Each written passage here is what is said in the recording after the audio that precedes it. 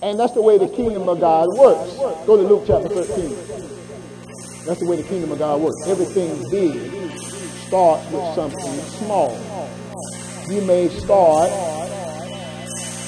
giving your tithe and then only giving a dollar offering.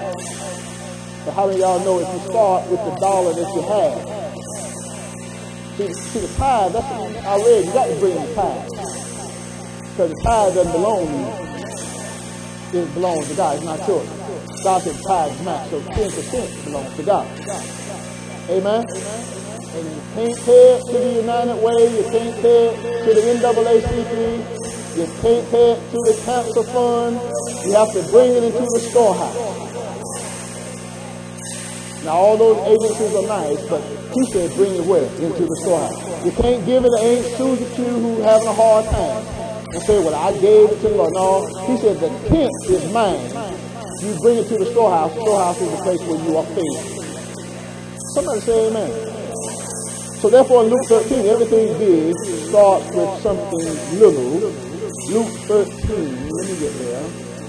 I'm the one fronting off now.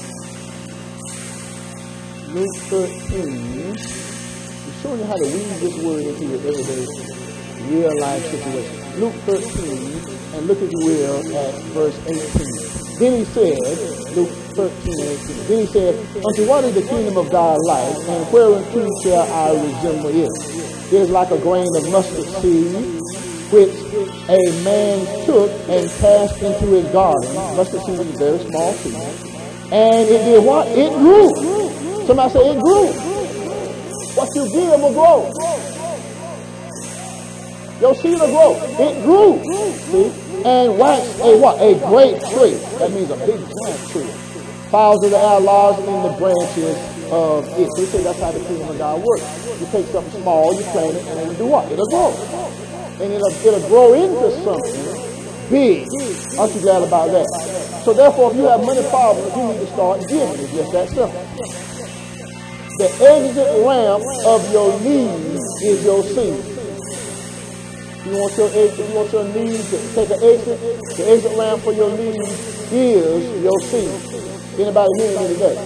So then there's a second kind of person that's here, and right now you don't have money problems. You, know, you got something in the bank, you're doing all right, you, know, you, you're in good shape, but you also don't want to have any. Come on, say it. You don't want to have any money problems. I don't never want to have any. Amen.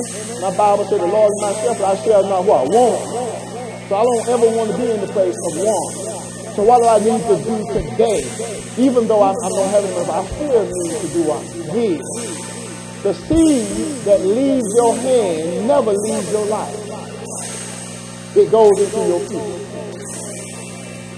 The seed that leaves your hand never leaves your life.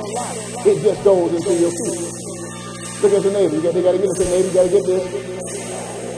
The seed that leaves your hand never leaves your life.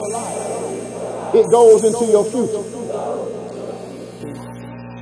So therefore, I can plant today for my tomorrow's abundance. Amen. Not only that, but my today's giving ensures that I will never be in lack.